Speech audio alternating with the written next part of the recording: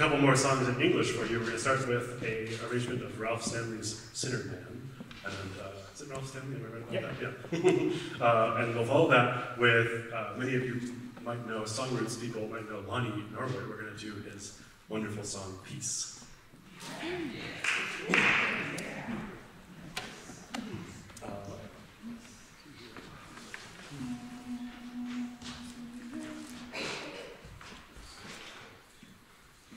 Sinner man, so discouraged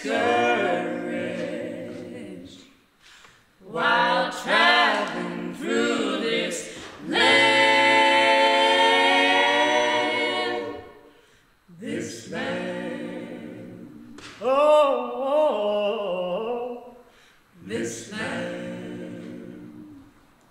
Now let us have a little talk with Jesus just to hear